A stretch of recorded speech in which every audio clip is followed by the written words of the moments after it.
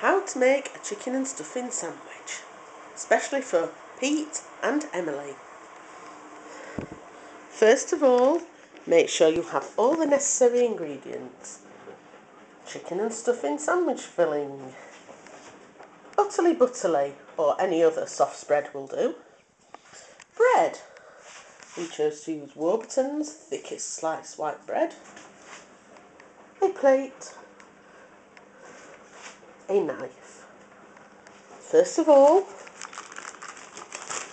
take out two slices of bread. Place on the plate. Nice Warburton's, thickest slice. Place one slice on the table. Select your knife. Very good when it comes to the art of spreading butter.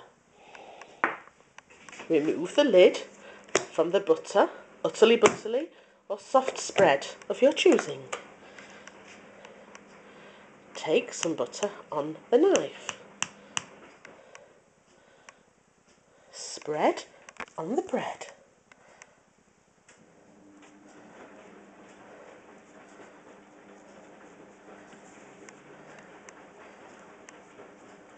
A little more may help.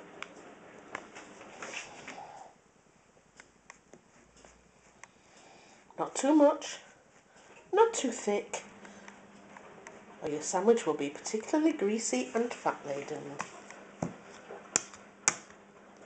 Scrape the excess butter back into the thing and put on the lid. Then select the chicken and stuffings sandwich filling. Two for two pound from Morrison's. It's a bargain. Take off the lid.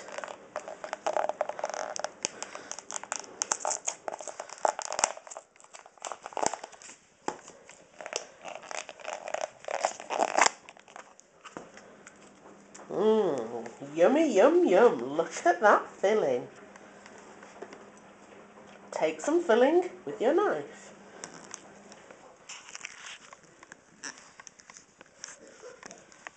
A nice big blob. Mmm, look at that. Spread said filling on the bread.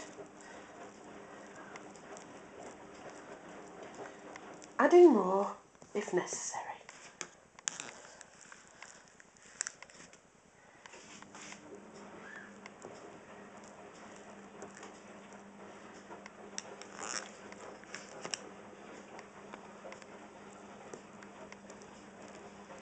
Mmm, looking good.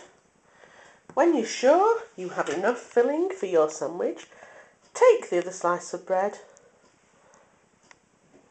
and place on top. Please note, I only spread butter on one side of the bread, on one slice of bread, to make sure you don't have too many calories, it's too, not too fatty and too greasy.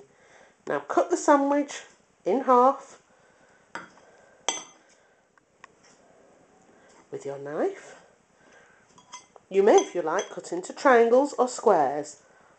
Place the knife down and there you have it. One chicken and stuffing sandwich. Enjoy!